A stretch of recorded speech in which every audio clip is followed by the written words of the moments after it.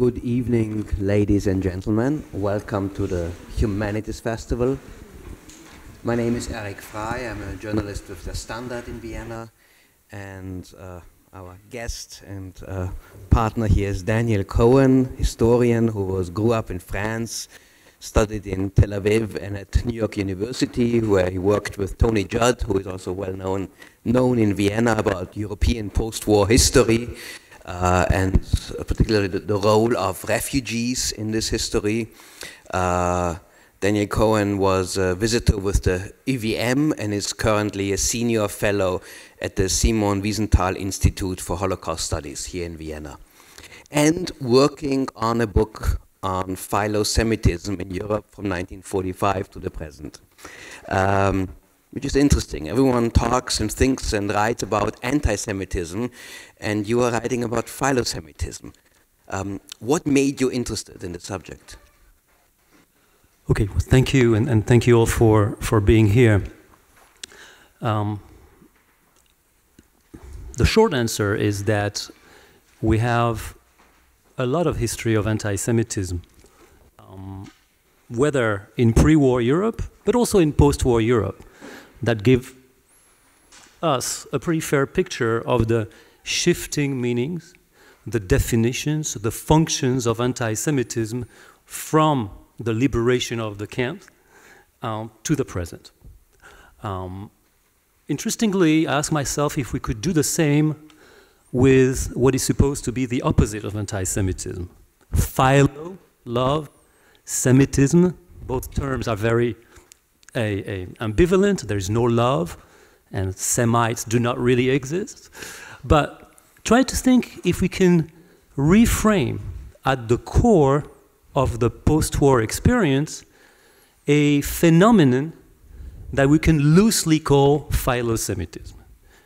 I, I came to the topic by working on refugees in the 1930s all the way to the 1950s, and in particular Jewish refugees. And anybody who works on the topic is puzzled by the change of tone in international diplomacy at the level of NGOs, at the level of international organizations, on Jewish refugees.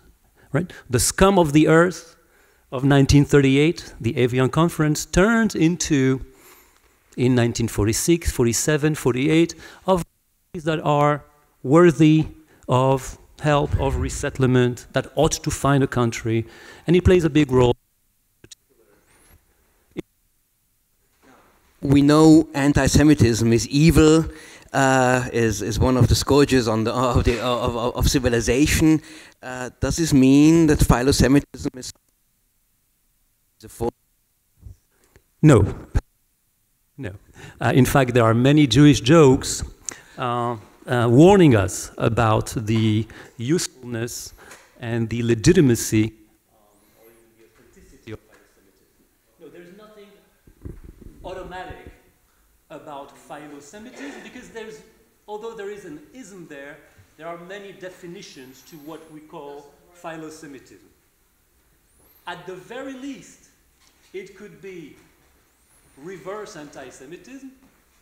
On the other end of the spectrum, it could be, or it means, a positive identification or positive discourse about Jews. And there are many layers between, between these two poles. But if we, and I just finish answering to yes. you, if we choose to be critical about philo-Semitism, then it's possible to recast it at the center of the European experience, even if it sounds provocative. Now, when you say reverse anti-Semitism, what does that mean? Okay, so philo-Semitism did not start as an act of love. In countries such as Germany and Austria in particular, philo-Semitism, just like anti-Semitism, often functioned as a code. Scholars of anti-Semitism know what I'm talking about. That is to say, a language through which we can paradoxically revive, recreate stereotypes about Jews. Right? If you want to show perhaps um,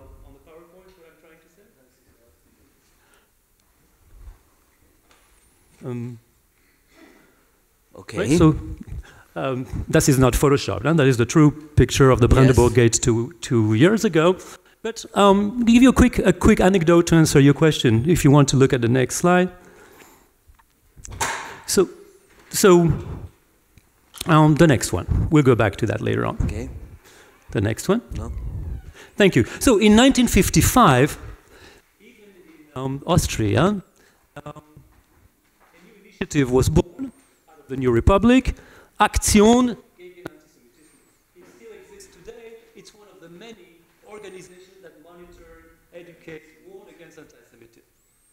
Several Catholic intellectuals joined the initiative, including this fellow, Albert Massiczek, a frankly Nazi fanatic before 1938, a soldier on the Eastern Front, all the way to 1942, injured, comes back to Vienna and becomes an ideologue to educate soldiers in Nazi ideo- ideology. He's one of the founders of Aktion gegen Antisemitismus. What is the purpose of it? What do we learn from it? Is that Philo-Semitism may be an act of contrition or guilt or love. It also has a purpose. In this case, a purpose of what we can call whitewashing. Whitewashing guilt, whitewashing the past, starting fresh. The anecdote about this man that fought essentially a genocidal war against Judeo Bolshevism in 1941 1942, if you want to show the next slide, is that he ends up, of course, writing an ode to um, Karl Marx, Jüdischer Humanismus, 20 years later. so anti-Semitism needs to be seen for what it is, right? And that is the job that I embraced, is to try to identify patterns Yes. of, of philo-Semitic discourse through the period. So was most of it uh, driven by guilt? So is the power of guilt is also our talk is titled really the main the main the, the main aspect here or were there also other motives which are just as relevant? This is the classic explanation of philo-Semitism, particularly so from people who don't believe in it, who don't want to have anything to do with it. Philo-Semitism is guilt, right? It's not true. It's an ex- expression of guilt. We hear that in the Middle East. For instance, Intellectuals complain that they got a raw deal from the West or from Europe because of this guilty philo-Semitism that they have nothing to do with it. They did not perpetrate. The we hear that among Jews wary of being turned into model victims, something that they don't want to be part of. Guilt is supposedly the answer to that. The problem is that when we look at the history of post-war Europe, we don't see guilt, but we see mostly indifference. I mean, the patterns, the, the overall reaction to the Holocaust, all the way to the 70s, is something that is better defined by indifference, although there are various ways to talk about it, than solidarity or sensitivity uh, to the Holocaust. So here, philo-Semitism is less guilt than an alternative to guilt. Um, this is what I propose in the book. It's not exactly guilt because, in fact, up until the 1990s in Europe, we don't really have official atonement or guilt. We have, of course, at the beginning of the post-war period, Karl Jaspers, the Schuldfrage, but it's much more about Schuld than about Jews. So it's important to see what was the function of philo-Semitic discourse, not just to express guilt, in my view, but to replace it or to avoid it through a positive discourse on Jews, of which we can talk about. And one of the areas that I think you looked at carefully are the churches, both the Protestant and the Catholic churches, which made quite a turn in their whole attitude and approach to, to Judaism. Um, what was the driving force there?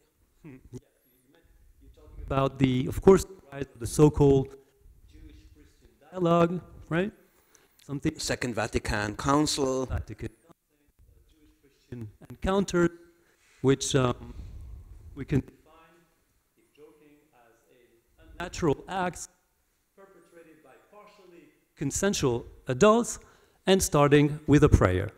Um, that means that the, um, the, the notion of Jewish-Christian dialogue although it seems very important, was only important on one side, the Christian side. There is a movement towards Yeah. Jews there, a movement that has been called a shift from the enemy to brother, contempt to esteem, etc., etc. Why did it happen? Why did Christians move towards Jews? There are many explanations. First of all, they did not explicitly move towards Jews, Christians moved towards modernity. Okay. right? It's only when notions of adjusting, of coping with modernity, Vatican II, became or arrived on the church agenda that the Jewish issue also was addressed. But there is something there. Um, in 1965, the Catholic Church recognizes that Jews are not to be blamed for the deicide. They halfway acknowledge the role of the church in anti Judaism, not the Holocaust, I mean in anti Judaism. And they also, this most important thing, elevate Jews to theological partners. Mm-hmm. So that is quite a revolution, indeed, that has that is one of the important features of the story that we're talking about today. It, yes, because it also changed a little bit the religious dogmas. Because if you have Jews are your partners, um, certain ideas about what what the, the Christian religion means doesn't fit quite anymore. There was no right? particular incentives for Christians to do so in no. 1945. No. There were more in the 1960s yeah. when the church faced secularization, loss of believers, and also it, it, should be said that a lot of outsiders within the church, Jacques Maritain, Jules Isaac in the French case, actually a Jewish convert named Johannes Österreicher, uh, who was actually was a priest here in Vienna, who moved to the United States, were one of the sort of secretive pushers to put the Jewish item on the second, on Second Vatican Council's agenda. The result is something that we can call a new partnership between Christians and Jews, or at least between Catholics and Jews. This is not nothing. The, the 1960s was also the period when admiration, even love for Israel, was at its peak. After the 1967, uh, uh, after the Six Day War in 1967, there was an outpouring of, of support for Israel among various parts of European society. Uh, what was the link between love for the Jews, philo-Semitism, and admiration for Israel? Was this always was it the same? Was this is a very good, um, uh, question. If there is some philo-Semitism after World War II in Europe, and again we need to look country by country, and the epicenter of that story would not be Vienna, but Paris, for all kind of reason, Paris being the sort of center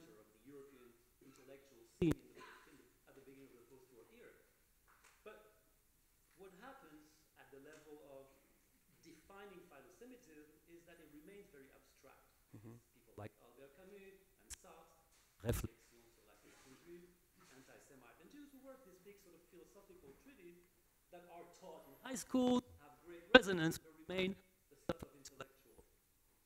Then comes 1948 and the state of Israel, and there is the possibility to project in a more concrete way new notions about Jews, which many of them were fictional or utopian, on the new Israeli reality. Uh, it came at a price. moment where European Philo-Semites decided to exclusively invest in the Jews' humanity, the Israelis, the Jews' humanity.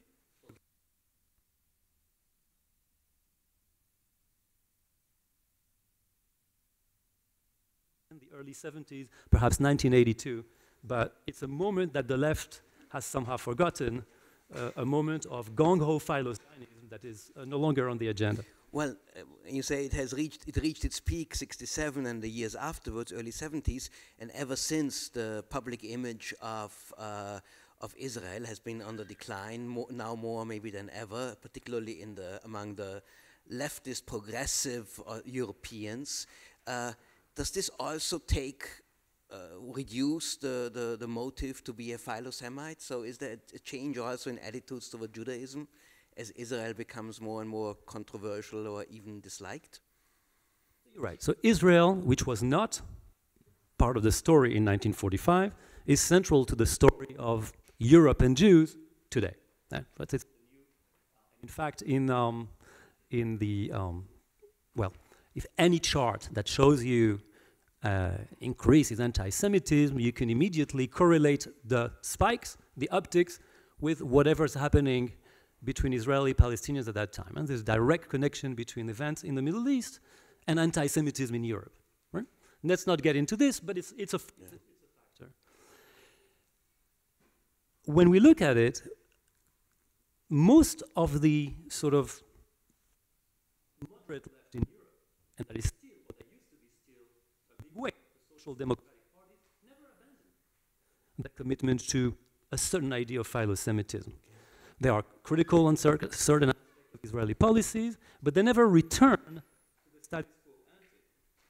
Maybe labor is doing this now, and that would be a first transgression of this. I don't think that labor is doing it, that Corbyn is doing it. I think the British labor is doing it, but that would be something that is only happening now. I think the social democratic diet, so to speak, have held up. Maybe this is a good chance because you had these other two slides about anti-Semitism that we slipped uh, that we flipped through. Maybe because this is the story. If you if you talk to also people in Austria, also Jewish representatives, and you say we'll talk about philo-Semitism, they will say, "What do you mean philo-Semitism? We see anti-Semitism on the rise." So is this is philo-Semitism something from the past, and Jews who are living here in Europe are now facing more and more uh, hostility again? As maybe this, so this, this, it, as, as, this graph would, would suggest? What, what is shocking about anti-Semitism today is not only that it's occasionally, and we'll get to the description, to the breakdown of this in a second, that is, you know, represents or, or symbolize attacks on Jews or harassment or at the very least um, makes the life of Jews um, uncomfortable, is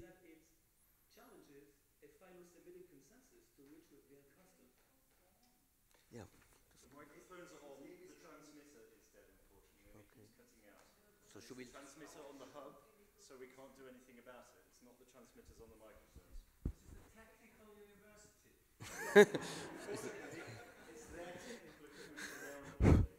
no, mine is working now.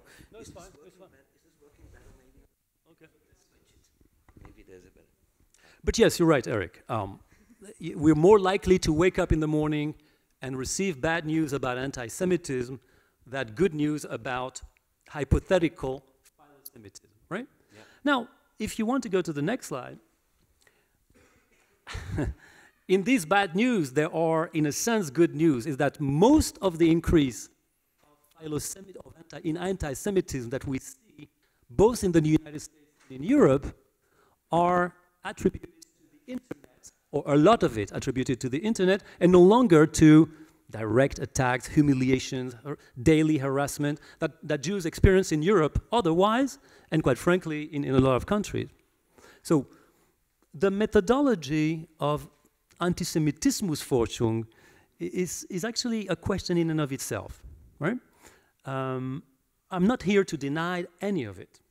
But if we, if we add to the tally of anti-Semites, drunks, xenophobes in the dark, and all kind of people who hide in the internet to spew their venom, we need to quantify it and put that in some sort of perspective. They existed before the internet did not exist. So yeah. if, if you, I mean, there is the chart that we saw before, which is rising, uh, which would be the more, more, more realistic chart in terms of anti-Semitic incidents, but also anti-Semitic attitudes? W how has it developed in Europe over the last 40 years? So at the risk of being provocative, I actually look at this chart with some measure of caution. Yeah. Um, not only because it includes a lot of things that did not or were not considered anti-Semitism in the past, but also because it tends to obscure one fact, is that for the first time in the history of Jews in Europe, the, study of, the status of Jews, the life of Jews, the presence of Jews, their visibility in the public realm, and I'm talking about Western Europe, but to a large extent, a lot of countries in Eastern Europe, not all, is uncontested. Is uncontested, mm -hmm. right? Uh, Jews can be whatever they want. They have, they are thriving, and they can decide and, and the kind of faith they want to embrace, the way they want to embrace is uncontested. I would say more with the full backing of the philo-Semitic state. I use this because, of course, in the history of the Holocaust, the concept of anti-Semitisme d'État, uh, which the French have coined, is very important. There is something called philo-Semitisme d'État, state philo-Semitism. When Je suis Charlie or I am Charlie demonstrations started in France, and when, of course, the anxiety the panic of French Jews, what I speak, a lot of them my friends, people thinking about exile, some people emigration to Israel. Um, the comments that we got from the prime ministers, the government, and that is true for England or France, are not things that you heard in the 1930s. If the Jews leave, France will no longer be France. Now, that could be lip service, right? That could be a politician trying to, to cover their, their, their base, but it's also a change of discourse. So I'd like to keep in mind that despite the, the charts, the life of Jews in Europe today is pretty secure. It's pretty secure, at least from the institutional point of view. Second, what the chart doesn't show is the level, not this time not just an uptick, but quite frankly, of the chart increase in anti-Muslim and anti-Arab perceptions. I mean, there has been, if you want to see it, a transference of anti-Semitic animus, and Matti Bunzl uh, has written about this, from the Jew to the Arab. I can even, in my work, I, I chart, I the moment. I found that poll in the late 1960s that finally shows the North African in France way on top of the xenophobic scale. This is something that we also need to remember and, and can explain why Jews are supposedly loved by right wing parties or populist parties, particularly in our region. Now, let's turn to Austria a little bit. I mean, there is the perception that Austria, if, if Europe turned philo-Semitic after World War, after 1945, Austria did less of it. Uh, less than in Germany, less than in the Netherlands. I mean, there's no, you don't have a football team in Vienna that uh, calls itself the Jews like, like, like Ajax Amsterdam. Is this true? Was Austria a laggard in this, in this phenomenon? Uh, of course, it is true, against with, with a caveat. And there was no incentives, as opposed to Germany, for Austria to engage, to engage in, to engage in philo-Semitism. That is to say, to try to use positive discourse on Jews to regain a footing among the Western nations. In 1943, Austria was already declared the first victim of fascism. And second, the people that were the likely candidates to engage in anti Semitism, socialists, viewed themselves also as victims, victims of Austrian fascism. So there was very little left empathy to share, not only for the remaining Jews, but also for remigrants, uh, the people who supposedly returned. And it's clear, and historical research has shown that there was no particularly warm invitation for Jewish immigrants to ever to Austria. We, we hear a lot about this this lack of uh, welcoming of, of, of, refugees to Austria. Was there really more of it in Germany? And did more Jews return to Germany in high positions than they did to, to, to Austria? No. What there was in Germany is was what visitors critically called a philo-Semitic fashion yeah. under the Adenauer era, where because of the taboo of anti-Semitism, but also because of Wiedergutmachung, the, no, the only way of talking about Jews was in terms of reconciliation, re engagement, and particularly monetary compensation, which in and of itself invited anti Semitic comments, but in the form of philo Semitism Jews and money. Give them money, they will forgive you. So there is here a, a, a sharp difference. What is less known about Austria is that there has always been a minoritarian minoritarian, right? A minority, marginal, peripheral uh, form of subversive, right? Uh, philo-Semitism. Okay. Now, of course, we need to look for it on the margins. That could be, for instance, in the diary of the very young Ingeborg Bachmann, yeah. her making a point to walk with her British Jewish boyfriend in Villach in front of her family to make sure that she is being seen dating a British Jewish soldier. Of course, we have to find these traces in the darkness, so to speak, of the historical materials and make sense of them. But there's no argument that it remained minoritarian, um, at least until the late 1960s. Yeah. Now, some of you probably watched the movie Waldheim's Walzer by Ruth Beckermann last night, and the, the, the I would the mythology, or at least the way the, the narrative is that Austria was more or less forgetting about the past, ignoring it, saying we are a victim until 1986, and then came the Waldheim affair, the campaign, his election, and suddenly Austria woke up and changed. And everyone today involved in what you would say philo-Semitism somehow says 86 was the turning point. Is this true? Yeah, you're right. I, I- th- the danger to, to uh, excessively focus on the Waldheim affair is really precisely that, to have a sort of a monolithic history of, of permanence and then see a moment of change when things supposedly uh, um, uh, reverse or accelerate or go into a different direction. Um, uh, no, it's not true. What's interesting about it is that, however, is that with the vocal reawakening of the right in Austria around the Waldheim affair during the first FAP, FPO coali- coalition and possibly now, what happened is that it has been met by a countervailing opposition that was more than an opposition, that was a real force. Mm-hmm. So paradoxically, should I say, anti-Semites were much more efficient in the 50s and the 60s when they were silent, that is to say, res- occasionally transgressing the taboo but operating within the taboo, than when they were vocal. I hope I, does that make sense? Yeah, yeah. Right? Well, maybe we should go step back one decade and ask for the, the Bruno Kreisky, of course, is a key figure here in the uh, modern history of Austria and also of Jewish Austria. Uh, was Kreisky's popularity, even enduring popularity, did it have to do with the fact that he was Jewish? Was he a product of philo-Semitism?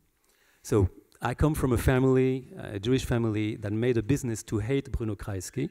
Right? Uh, Bruno Kreisky did not extend a cup of tea to Golda Meir. Bruno Kreisky was a self-hating Jew, was probably. Uh, Bruno Kreisky was such and such. So I I always found the, the, the, the, story of Kreisky quite, quite interesting, both politically and also psychologically, quite frankly. Um, let's think of it. Can we name a Jewish prime minister ever in anywhere in Europe since 1945? There's one, is Laurent Fabius, who made a point to never disclose his Jewishness in the 1980s.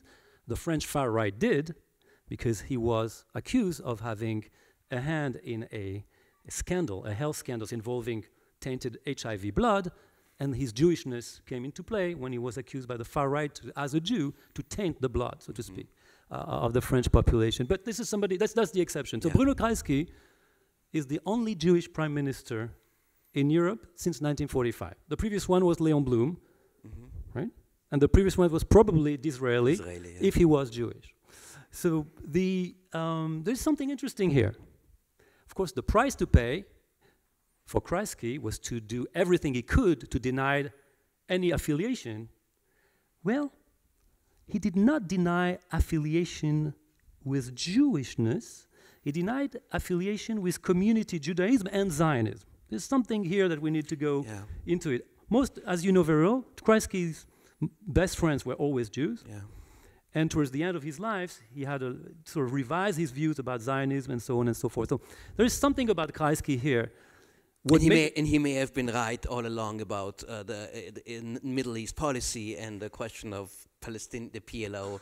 Well, and, it's fair to say that what so Kreisky was advocating in the early 70s, alongside Olof Palme and Willy Yes. Brandt at that time, looks like mainstream or so left of center politics today, a two state solution with some sort of territorial arrangement. Um, there's something here about Kreisky. Now, but did the typical Austrian who was did not see himself as a Philosemite, did he vote for Kreisky also because he was Jewish, even though he was Jewish, or did it just not matter? I think it did not matter. I think I think I think Kreisky, Kreisky managed to to merge and to connect with sort of a, um, a, a mainstream SPO constituency that it did not fully matter. But the voters were always reminded of Kreisky's Jewishness because Kreisky's opponents in 1970, for instance, made a point to indicate to the voters who was the true Austrians. Right? Yeah. So Kreisky Jewishness was always in the background. Um, he helped everybody to forget about Jewishness by forgetting about Jewishness. Uh, I'm not sure that uh, this is the full story about Kreisky. Right? We'll have to think about it more. I mean, even personal recollections of people who lived through the era, if they perceived perceived Kreisky as Jewish or just non-Jewish, um, uh, it's an interesting point. Yeah, What do you think about it? well, I wasn't expecting that question. um, um, I really don't know. And uh, I, I also think that the, the you're right. In 1970, there was the uh, his Jewishness was a implicit campaign issue.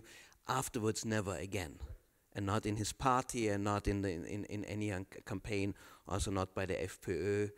I think it was just ignored.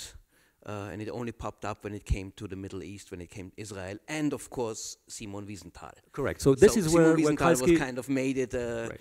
And this yeah. is the, the pathological side of Kreisky. I mean, quite frankly, uh, this is where he actually earned points with the far right yeah. in this country huh, when he attacked Wiesenthal and ultimately lost Well, and had to pay compensation. since since Austria had a history and Austrian anti-Semitism had a history with Karl Lueger saying I decide who is Jewish. Uh, one could say the Austrians decided this guy is not Jewish. He's on he's on our side. Yes. Yeah. Let's turn to uh, uh, today. We have a young chancellor today who seems to be the most philo-Semitic uh, Austria ever had. Sebastian Kurz talks a lot about this, this uh, in, in, uh, central mission for Austria to support Israel, also to support Jewish life here uh, in, in Vienna. So he seems to take this very, very seriously, and he has the Freedom Party as his coalition partner that also suddenly uh, not only supports Israel, but also Heinz Christian Strache turned around and, and made a, quite a strong statement in front of his own Burschenschafter saying we have to fight anti Semitism. Um, is this the return of philo Semitism in Austrian politics? Right. So first of all, there is a generation uh, issue here. Kurz, uh, Chancellor Kurz belongs to a young generation of people who essentially grew up with the European Union. With that, whether he wanted it or not, he absorbs of the new norms, or at least the foundational norms of the European Union. Today, they're pretty much, uh, if not trampled over, uh, quite frankly, in jeopardy. But one of them is cosmopolitanism. The other one is Holocaust memory, uh, and so on and so forth. And, and that, I think, uh, Kurz has no beef with. He doesn't want to stir up the pot, and he belongs to that kind of sort of European identity. Strache Yeah. did not. Let's not forget that during the campaign, Kurz and Strache squared off in a debate, yeah. and Kurz had to endure the accusation, of course, of, of having Verstrickungen, that is entanglements with Mr. Musikant, which Strache pronounced Mutzikant, right, in, in the debate to code what he wanted to do. But then Strache did something else. He also said, in our coalition, we will pledge to defend our Jewish compatriots against what? Muslim anti Semitism. So we're touching upon something else here. Yeah. And the, the I, I like to call uh, the far right uh, the, the, the new migrants, right? What kind of migrants? Uh, they- they're migrating from anti Semitism to philo-Semitism. Um, uh, And is this for real? Can you believe them that they actually believe in it? That they see Jews as a potential or real ally against their new enemy, Islam? Um, as Geert, Uh, so- Wilder, Geert Wilders does in the Netherlands and Right. others, other right-wing populists do? Ah, or is so- it just a trick? Is it just a? Is it just a? Yeah. let's not let's forget that Gail Wilders is a populist, but a populist that, ki- that came from some kind of progressive tradition. That is to say, on other issues, social welfare, right, um, uh, gay rights, minority rights, Wilders is a progressive, not the Austrian far right. So there's, there's a, the difference. For, Gild, for, for, for Wilders, anti-Philo-Semitism means championing a Judeo-Christian morality or Judeo-Christian civilization against the danger, right? This is something that is, of course, new in the philo-Semitism of Yes. today. It has shifted for something that belonged to progressives, traditionally, as SPÖ, Catholics or left Catholics, and is now partially in the hands of people that, in fact, define themselves either as far right or right of center or populist. So that's, that's one thing. And also, it has a lot to do with containment and exclusion, if needed, of uh, refugees, and particularly Muslim refugees. So, um, So Strache talks also about Judeo-Christian values. that's true. That's so true. he has, ado- he has adopted this language, which, by the way, comes from the United States, also from that is true. evangelicals. That are, is true. No, I don't think that's. so is this? Yeah. Does he? Does he, does he believe it? Yeah. Or is it? Yeah. there, there's two layers, and, and I I hate to call it philo-Semitism, but let's call it philo-Semitism of, of FPÖ philosemitism, as, as, as interesting as it sounds. Uh, there is indeed this new discourse of protection of Jews, Yeah. But also there is a philo Israelism. That is to say, there is in the far in, in regimes around in our region, in, Czech, in the Czech Republic, in Slovakia, in Hungary in particular, this sort of split philo-Semitic personality. That is to say, on one hand, Soros is the eternal Jew, on the other hand, Bibi is the future. Right? Uh, that is to say, the muscular Jew won over the cosmopolitan liberal Yes. liberal Jew. There's, there's something here, of course, that belongs to the repertoire of philo-Semitism in Central Europe that is, of course, not credible. Are Yeah. Jews in danger of being instrumentalized and abused for in the uh, fight against the Islam against Islam? So you hear of Jews in small numbers, in very small numbers. In fact, uh, you know, uh, joining uh, Pegida, joining AfD. Um, uh, you even hear of some Jews tempted by a Front National vote in France. Okay, no, uh, Jews in fact are on the fence here. Uh, Jews in fact are on the fence here, and um, for the most part, I've not jumped in. I've not jumped in. Um, it's a good question. Uh, some Hasidic communities have Yeah. in east of us, and in, in all kind of deals with with a in the old traditions of, of of the Jewish presence in Eastern Europe, so to deal with the power that you have and make the best of it. So there are interesting alliances being made here, being being so to speak, created between Orthodox Hasidic communities and, for instance, Orban in Hungary. No, it's a real problem. There is a perversion of what philo-Semitism was supposed to be. Yeah. Yeah. Do you see uh, a trend or any chance that Jews in Europe can just achieve what is what you would call normalcy, where they don't have to fear anti-Semitism, where they don't need philo-Semitism, where they don't have to ask themselves all the time, is it good for us or bad for us? Where all these issues just kind of fade into the background? Yeah. So from the point of view of social history, if I were a social historian, I would I would tell you they have achieved normalcy, frankly, since the 1960s. I mean, modernization, social mobility, all these parameters point to a Jewish success story in Western Europe, including Germany, and frankly, including Austria. So that, that, that if this is a, a definition of normalcy, then this is it. Then, of course, there is the issue of anti-Semitism. I mean, the, the, the, the, really the evil of anti-Semitism is to permanently put into question that normalcy. And that discourse is there. It puts into question the normalcy of being a European Jew. There is a backlash against Corbyn because he allegedly put into question the normalcy of British Jews, not just Israel, with which he has a beef, and so be it, but with British Jews. So I'd say yes and no. There is normalcy. There is normalcy, and quite frankly, it's quite an irony.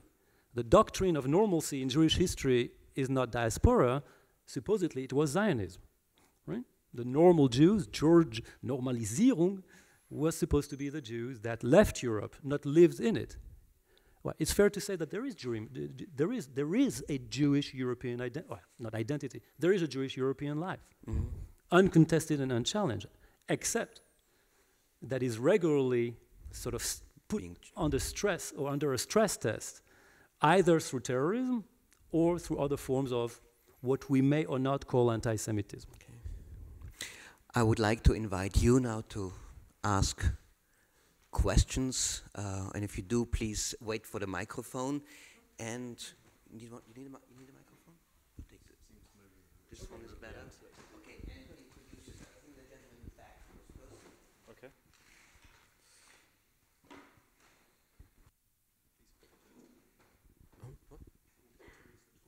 Okay, I'll try to. Okay, uh, Gregor Flock, a philosopher. Um, some points I would like to mention: uh, yeah, the the power of guilt. Uh, that Mr. Cohen mentioned that the Brit- British Labour is anti-Semitic, and that Corbyn does not only have a problem with the policies of Israel, but also with British Jews in general. Um, the thing is, I'm not sure if you're aware of this, but uh, a former Israeli cabinet member, some Shulamit Aloni, I believe her name is, uh, mentioned in 2002 on, on video on the Democracy Now! show that anti Semitism is a trick which uh, the state of Israel always uses.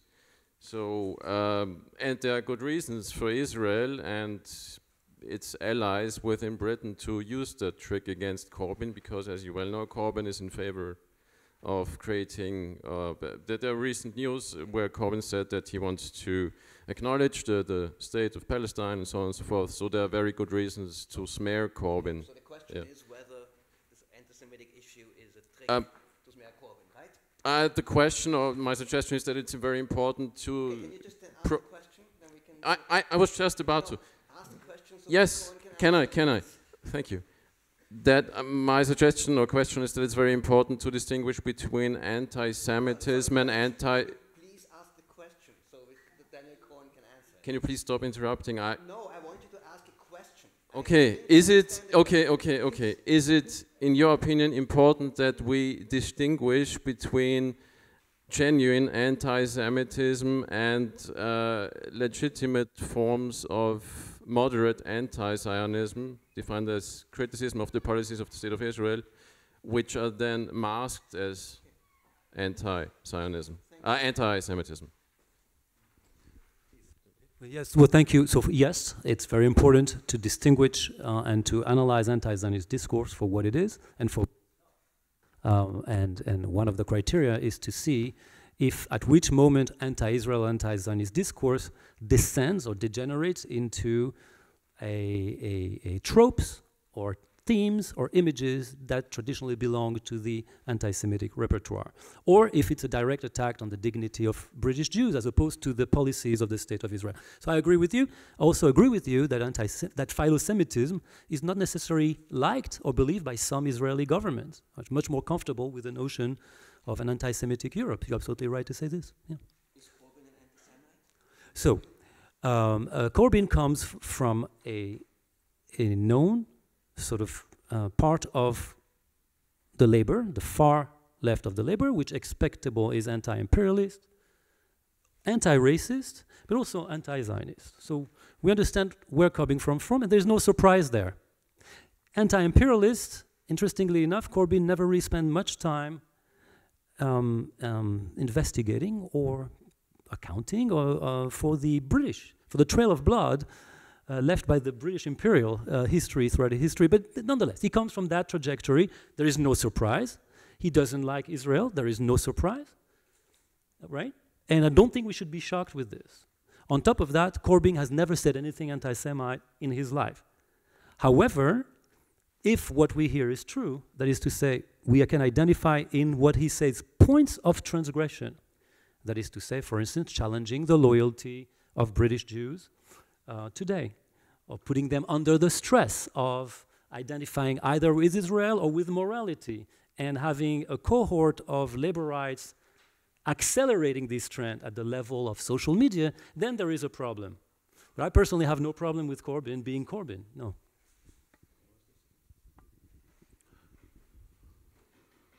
Hello. Um, my, I'm Adrian, a barrister at law from London and Vienna, and I've got three short questions. First of all, Daniel said that there was no Jewish head of state in Europe post 1945 except for Bruno Kreisky. I wonder about Helmut Schmidt, who wrote in his autobiography that he wasn't allowed to have a bar mitzvah because his parents would stand out, said he would stand out. Uh, secondly, Eric, you said that there was no Jewish football team in Austria. I wonder whether you can, after, after 1945, before there was a team called Hakoah, meaning strength in Hebrew, that was recently revived three years ago in Vienna's second Leopoldstadt district as a Jewish football and athletic club. Okay, and my third question is don't you think, Daniel or Eric, that philo Semitism is already deeply embedded in Austria in the Wienerisch dialect? Because there are so many Yiddish and Hebrew expressions in Wienerisch that always draw a laugh when I, as an Englishman, use them, like Havara, for a mate, Kumpel in Germany, Tacheles reden, to call a spade a spade, Schmarotzer, a parasite, Schnorrer, a beggar. I always get a positive reaction in Austria when I use those expressions, and they go way back into Wienerisch history. Uh, your Wienerisch is probably better than mine.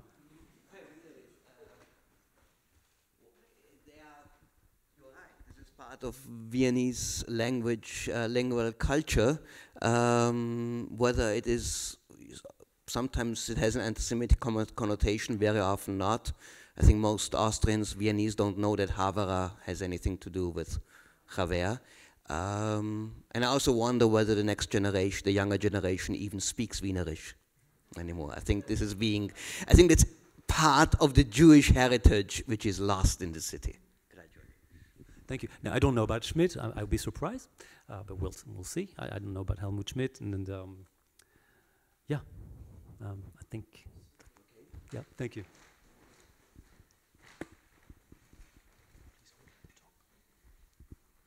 Ungurano from the IWM. Daniel, question for you, although we have discussed this topic several times. Any specific form of philo-Semitism on the other side of the Iron Curtain? Is there a, a state, stately instrumentalized kind of philo-Semitism in the, in the Soviet Union or in the satellite countries? Thank you. Yes, of course, that's, that's an excellent question. We didn't have time. But it is true that from 1945 to 1989, we think of Eastern Europe as hermetic, and for many good reasons, to any kind of positive sense of solidarity with Jews, uh, to any kind of philo-Semitism. I mean, that is a quick answer and a wrong answer, uh, although we need a little bit more time. But let's just say that outside of the period of hard, of the high noon of Stalinism, right? And that's sort of the beginning of the 1950s. Um, that old style communist anti fascism, that is to say, the notion that we all were undiscriminate fighters against, uh, against fascism, had something positive to say about the Jewish Brotherhood. At some point, it completely elided the presence of Jews, but in many places, the presence of the idea of Jews as fighters, for instance, good example. If we look at the changing point, one of the changing points in post-war history is, of course, Willy Brandt kneeling, kneeling where? In communist Poland, in front of what? A monument dedicated to the Jewish ghetto fighters, right?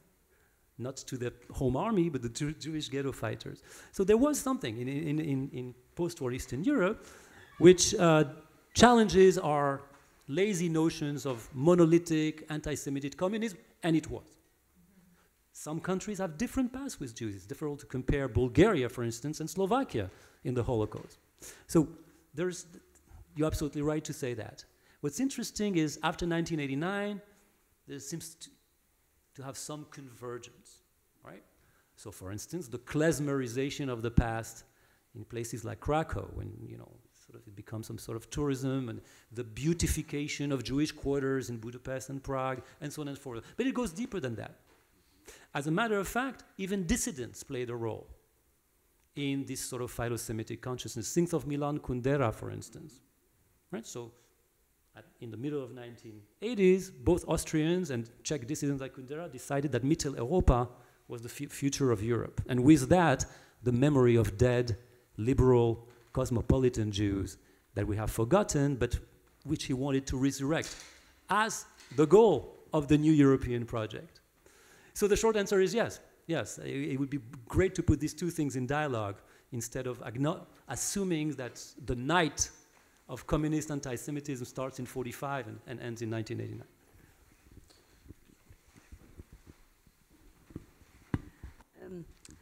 My question is rather to the opposite. I noticed that many of the Holocaust survivors, they have a guilty feeling against those who did not survive. Now, uh, the question is, uh, of course, uh, even non-Jews, when they say didn't board the uh, aircraft which then fell down and uh, so many died may, uh, do have sometimes these guilty feelings. But uh, isn't that contradictory to the Freudian theory? That there should be some, some reason for a fault to have a guilty feeling. I don't know if I can answer to that. Uh, I, I don't know. Um, it's hard for me to put myself in, in this place. Um, so I will pass on this with your permission. I found uh, interesting your statement about the cause of philosophism. Uh, if I understood correct, you said the the guilt is not a good cause of or is, uh, and you talked about truth. It's I, I, I'm not sure if I stood understood correctly. Yeah. Because the cause is about the past, but the truth is about the is the awareness about the presence and the future. And I referred to Uri Avneri, who said those who are philo Semitists prob- probably do not plea for the future of the state of Israel, because usually governments are not all the time in the interest of the people, because society is not united, is, is in, in classes, so to say. And the second thing about the right wing uh, allying with um, Israel, I think they have managed to change the enemy from Jews to uh, the Arab or Islamic immigrants.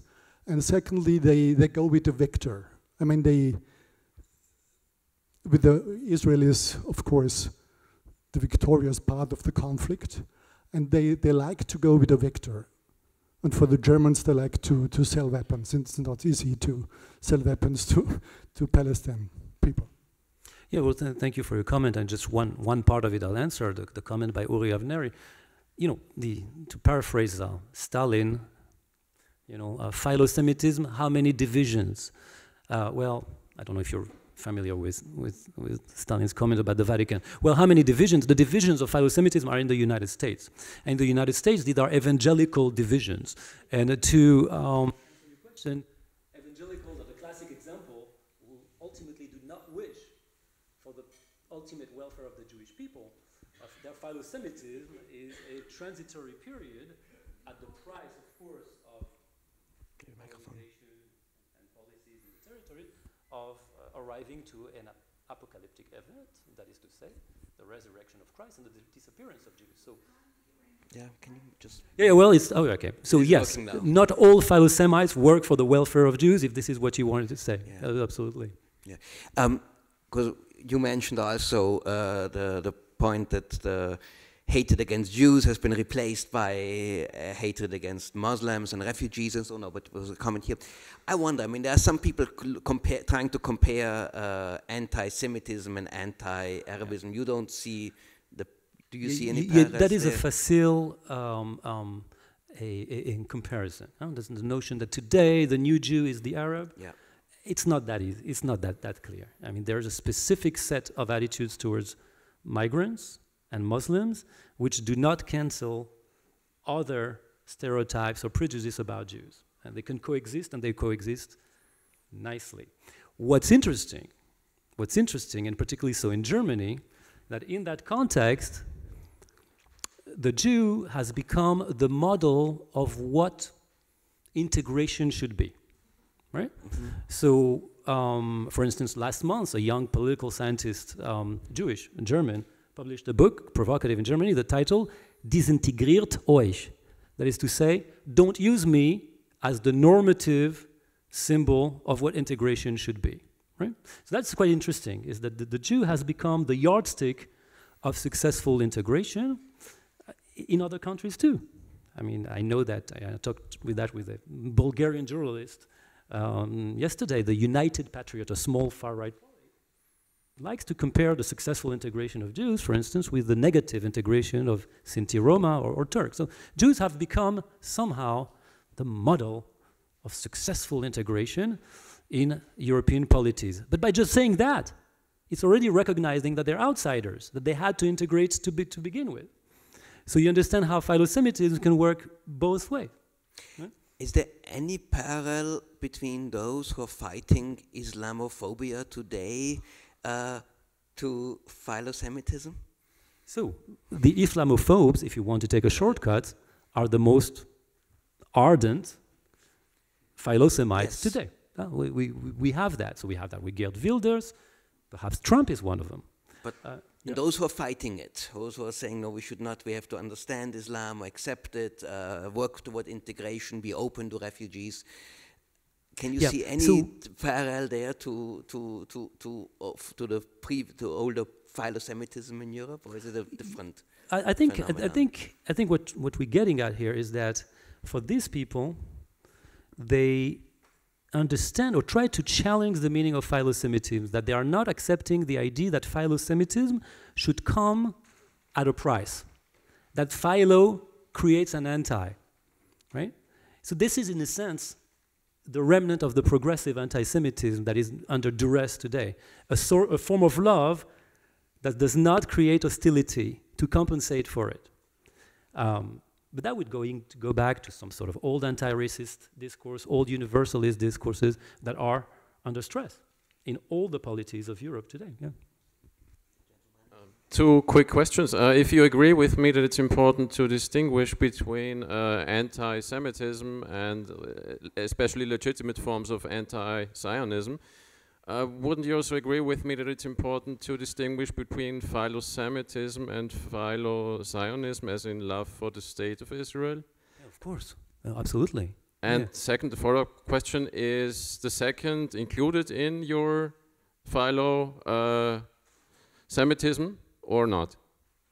Uh, Is is is phi- philo Zionism included in your version of So- philo so- Semitism? Let me just answer you as an historian, as somebody who observed and tried to make sense of, of, uh, of patterns of expression. In the 1950s and 60s in Western Europe, it was more or less complementary, right? So, for instance, the figure of your philosopher, the figure of Jean Paul Sartre. Jean Paul Sartre started his career as an intellectual, doing something revolutionary, trying to say that the Jewish question does not exist. There is only an anti Semite question, right? So, what we need to study is the anti Semite, not the Jew. Something that is subversive and radical at the same time. But he completed that, and in fact, throughout his life, with some sort of solidarity with the state of Israel, even when he turned somehow closer to the Rote Armee and, and, and in the 1970s, a little kind of radical phase. Sartre never relinquished a connection to Israel. His argument we cannot forget, as French, and he says that to Arabs, I paraphrase, that the Israelis as are Jews too. And as Jews, he owes them a sense of solidarity. Complicated and qualified, but it owes them. So, yes, after that, today, people who are philo Semites can also be anti occupation or anti Israeli policies or even anti Israel. I don't see a contradiction in that as long as the rhetoric is careful to never debase, um, eh, so to speak, um, impugn, so to speak, the decency or the right to existence of Jews wherever they are.